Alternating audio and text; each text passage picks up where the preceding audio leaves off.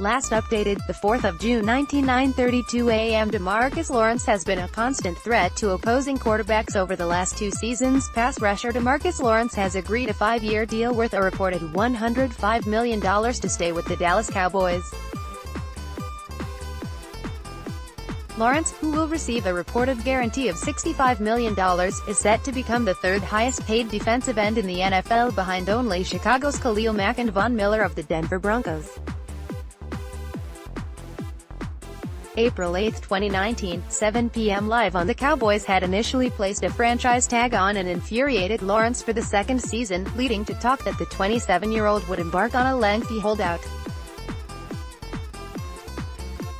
Lawrence was the Cowboys' second-round pick in the 2014 draft, out of Boise State, but his first three seasons in the league proved inconsistent with only nine sacks. However, Lawrence tallied 25 sacks over the last two seasons as part of the Cowboys' top 10 defense and would have been one of the NFL's most prized free agents had he ever reached the market. Lawrence delayed having surgery to correct a long-term shoulder problem while his contractual issues were being sorted out and faces months of rehab once he finally goes under the knife. He is still expected to be fit for the start of the regular season. The Cowboys further improved their pass rushing while Lawrence was waiting to agree fresh terms and, once fully fit, he will form a fearsome partnership with Robert Quinn, who was acquired from the Miami Dolphins last month.